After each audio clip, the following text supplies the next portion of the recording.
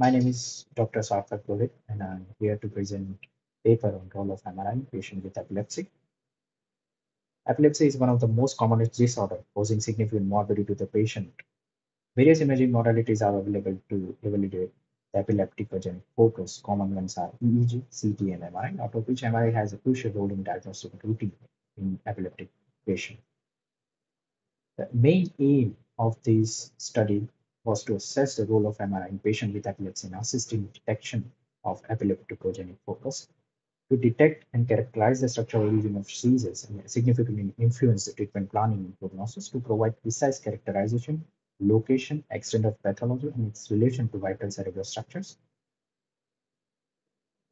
I have included study of 120 consecutive patients presenting with epilepsy, and they were screened by using MR Siemens Magnetom Skyra 3T machine.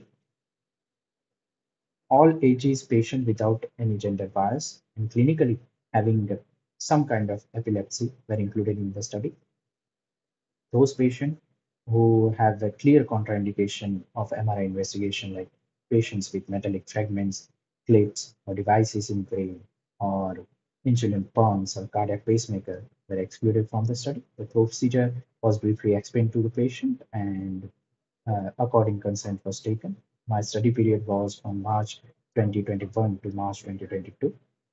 Uh, the MRI sequences which included in the study con were conventional MRI sequences like diffusion weight, T1 weight XU, T2 weight XU and sagittal, FLAIR corona, gradient echo, and uh, SWI images. Additional epilepsy sequences were T1 weight immunosuppression recovery and T2 weight oblique images. The contrast study was by uh, given by injecting the Magnilect gadolinium contrast with a dose of 0.1 millimole kg per body weight.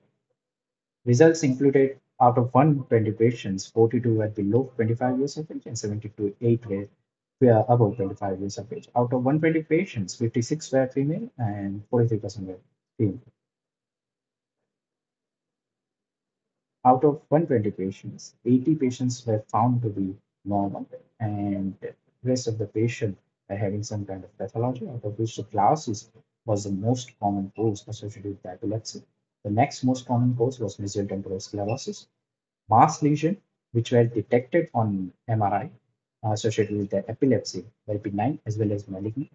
The common ones are low-grade glioma, dysplastic neuroendocrine tumor, and intracranial dermoid majority of the pediatric patient with hypoxic injury or its sequelae and gliosis had some kind of past history associated with birth asphyxia or attack of hypoglycemia or assisted ventilation. Uh, some common uh, infective etiology which are associated with the epilepsy were meningoencephalitis, out of which the Koch's meningoencephalitis was most common. Uh, in pediatric age group, Corpus callosal agenesis, focal cortical dysplasia, Dyke-Davidoff Masson syndrome, polymicrogyria, leukodystrophies were found to be causal factor of epilepsy. Some examples associated with the epilepsy, out of which the mass lesions which are associated with the epilepsy were glioblastoma. Glioblastoma uh, are high-grade glioblastoma, uh, high-grade tumors, which is WHO grade 3 or WHO grade 4 tumors. Uh, other uh, tumors associated with epilepsy were oligodendroglioma. And the appearance of glioblastoma was heterogeneous hyperintense on T2 weight image and heterogeneous on T1 weight images, which having peripheral enhancement with central non-enhancing necrotic areas. Oligodendroglioma having a cortex or subcortical white matter involvement, which is hypointense to T1 weight and heterogeneously hyperintense on T2 weight images. It can have cystic degeneration, calcification, or hemorrhagic areas within it. DNET were, is a WHO grade 1 tumor, which is commonly associated with the intractable temporal lobe epilepsy. MRI shows bubbly appearance on T2 weight images and does not completely suppress on FLAIR images and it doesn't have any diffusion restriction. Some benign uh, etiologies which are associated with the epilepsy, out of which the most common was gliosis and encephalomalacia, which is having a CSF signal intensity on all the sequences.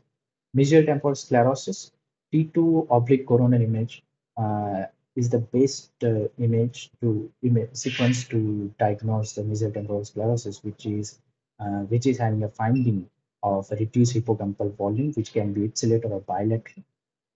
Periventricular accumulation. It is a white matter injury of premature uh, prematurity affecting the periventricular zone, typically resulting in cavitation and periventricular cyst formation. It is common in premature newborns and less than 1.5 kg at birth child. And acute infarct, which is having acute onset of seizure followed by limb weakness. MRI showed uh, diffusion restriction and subsequent fall in the of signal in ADC images. Uh, another infective uh, uh, etiology associated with the epilepsy was neurocysticercosis. Uh, it showed uh, various, it is caused by CNS infection, which is caused by POC tapeworm, uh, Taenia solium. It showed uh, various stages of lesion. Uh, uh, stages include the vesicular, colloid, vesic colloidovesicular, granular nodular, and nodular calcified. The lesion might have a scolex, which can uh, have a GRE blooming. Metachromatic leukodystrophy is one of the most commonest autosomal recessive leukodystrophy in lysosomal storage disorder. MRI shows uh, bilateral symmetrical confluent areas of periventricular deep white matter signal changes, particularly around the atria and frontal of lateral ventricles. Another one was uh, Dyke-Davidoff Masson syndrome, which is having the hemicerebral atrophy or hypoplasia secondary to brain insult in fetal or early childhood, and ipsilateral calvarial thickening was a common finding associated with David, uh, David, Dyke-Davidoff Mason syndrome. In summary, conventional MRI brain sequences cannot delineate subtle structure changes in patients with epilepsy. Those epilepsy sequences are very helpful for the same. Decreasing the slice thickness removes the effect of partial volume, avoiding resulting sharp images. By orienting the axis of imaging to the long axis to hippocampus, it can be assessed equal, uh, adequately and subtle findings of mesial temporal sclerosis can be readily perceived. So MRI is the definitive modality in assessing brain structure and its pathology is both congenital and acquired.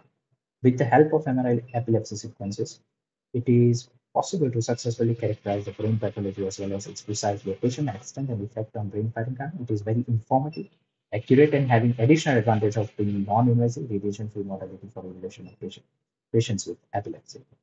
Thank you.